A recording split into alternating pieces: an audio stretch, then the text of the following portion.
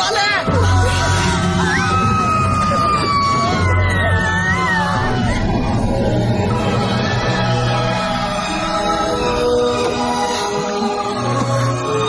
बच गए।